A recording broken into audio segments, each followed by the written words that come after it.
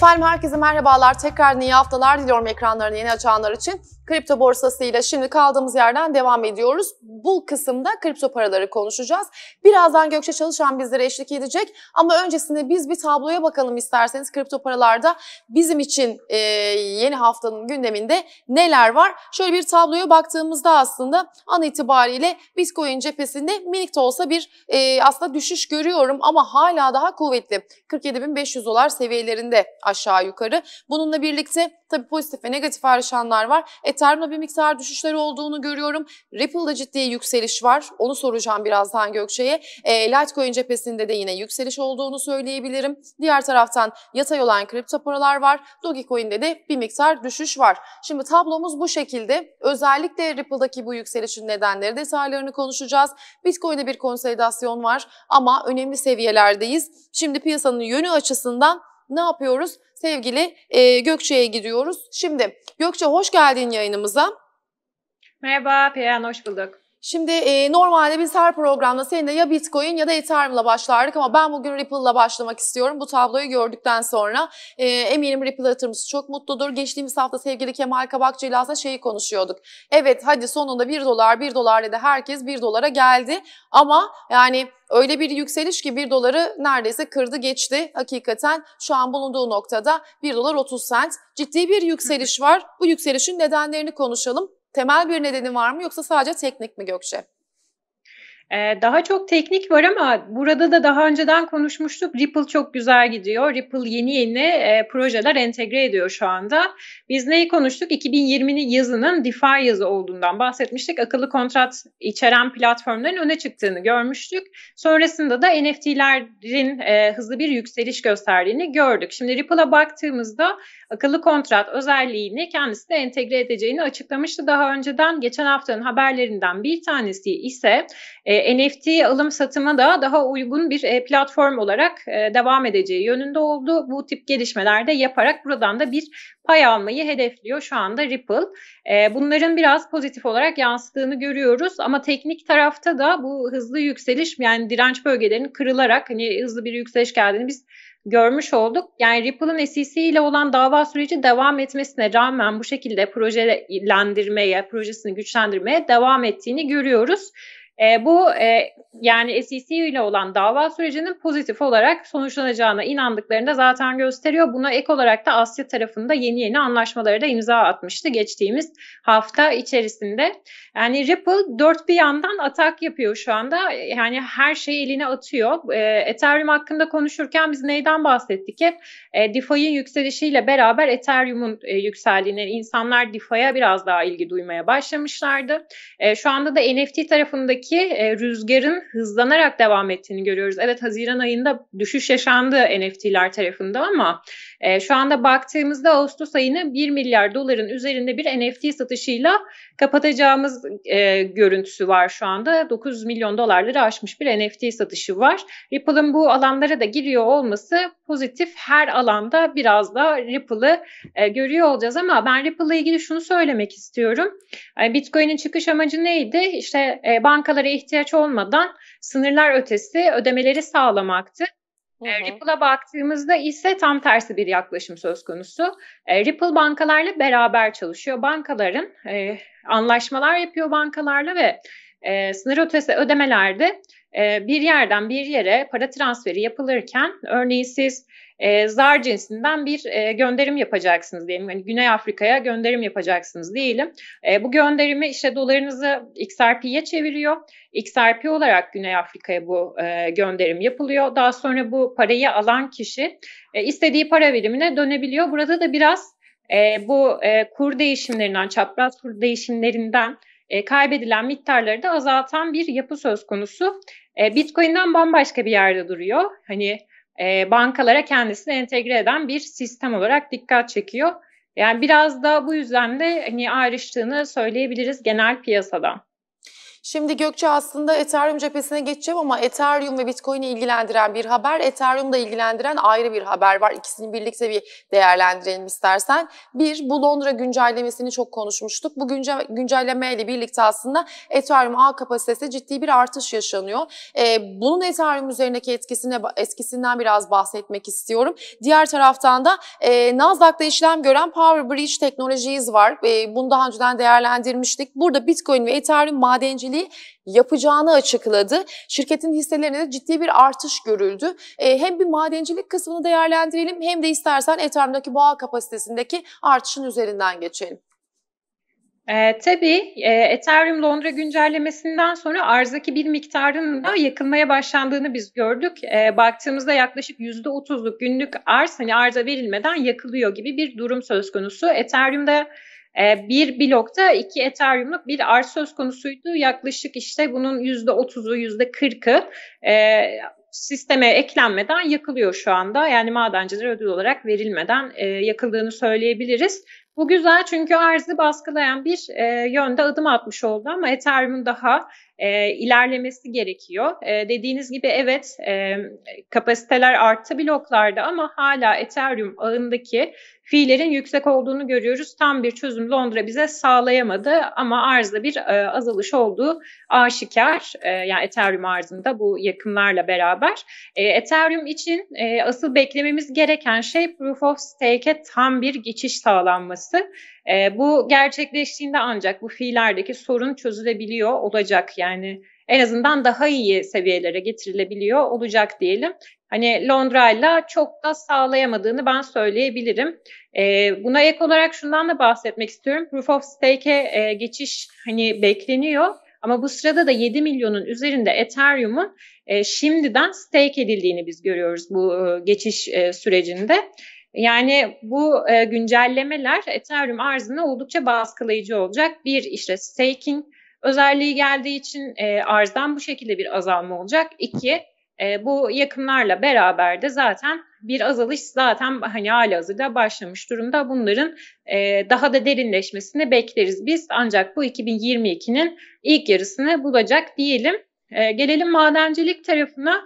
E, evet Power Bridge e, artık madenciliğe giriyor olacak. Buna ek olarak da e, aynı zamanda Nasdaq'ta da listeleniyor. Buna ek olarak da Nasdaq'ta listelenen Hive Blockchain isimli bir şirket var. Hı hı. Hali hazırda e, Bitcoin madenciliği yapıyorlar. 1800 tane daha e, madencilik cihazı aldılar.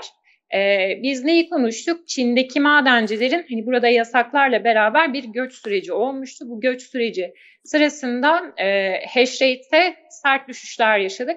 Hash rate şu anda çok güzel toparlanıyor. Hatta son e, Bitcoin ağ zorluk seviyesinin ayarlanmasında %7'likte bir düzeltme oldu. Bu neyi gösteriyor? E, tekrar madenciliğe olan e, ilginin arttığını bize gösteriyor. Buna ek olarak da e, Amerika'da madenciliğe olan ilgi zaten artıyor. Bu iki firmadan Nasdaq'ta listelenen e, halka arz edilmiş yani e, firmalar olarak dikkat çekiyor. Yani yavaş yavaş buradaki Çin dominansının hani azaldığını, azaldığını görüyoruz. Artık görüyoruz. Hı hı. Amerika tarafında bir yükseliş var. İşte Rusya'ya doğru gidenler oldu, Kazakistan'a gidenler oldu.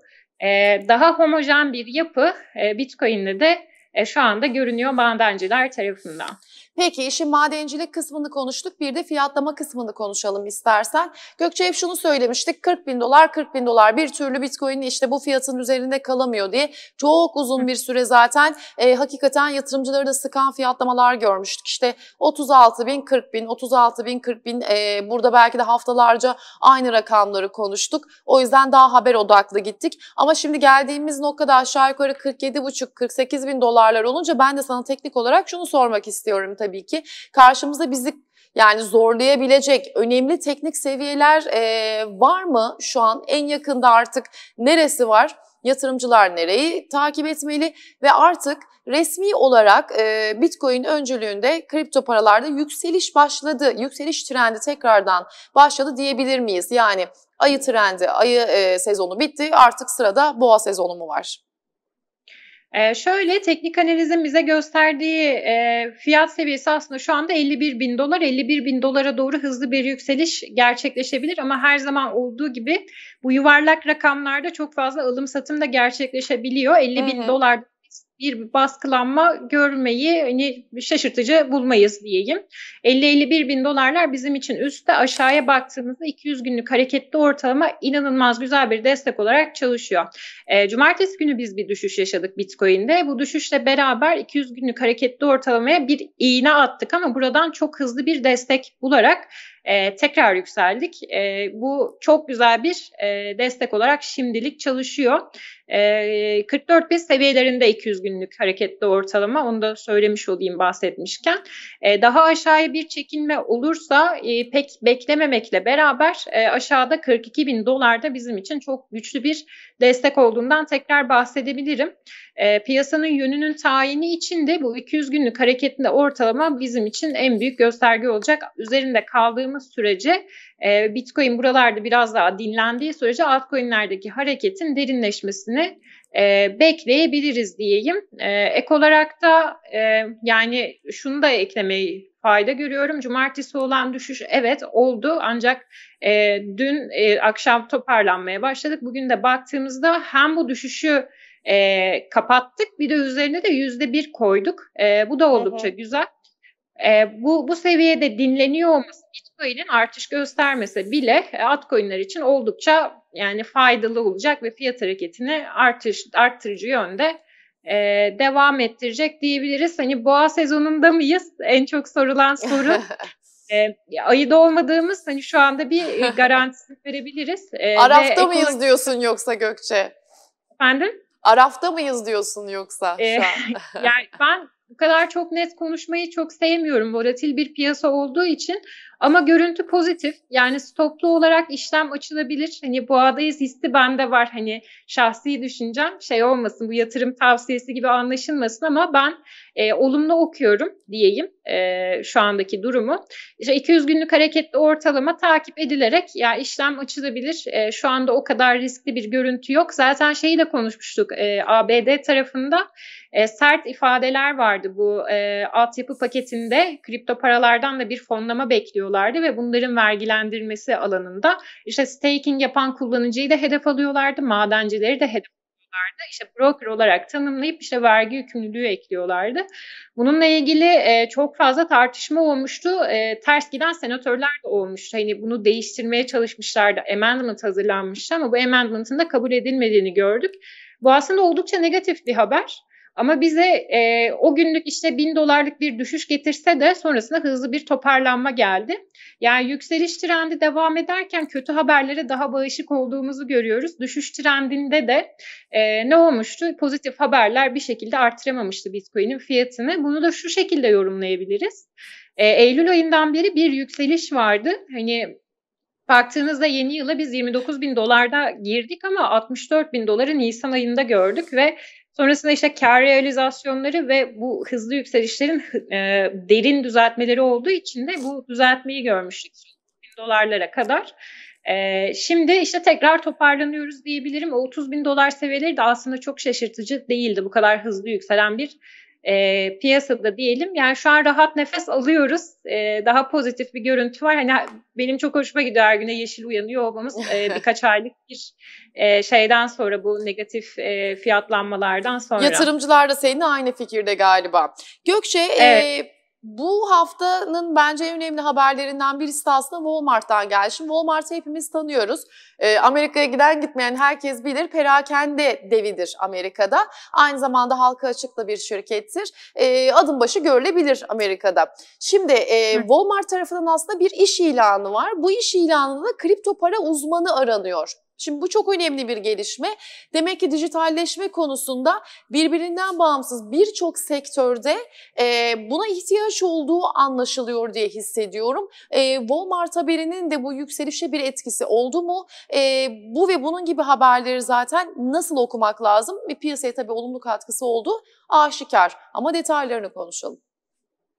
E, tabii biz e, kripto paraların adaptasyon sürecinin çok önemli olduğunu söylüyoruz ve hani en büyük eşik de ödeme aracı olarak kullanılıyor olması. Şimdi Walmart'a baktığımızda benim tahminim şu yönde muhtemelen e, kripto paralarla ödemenin yolunu açacaklar. Yani büyük bir e, marketler zinciri olarak zaten hani Amerika'daki en en yaygın e, market zinciri zaten.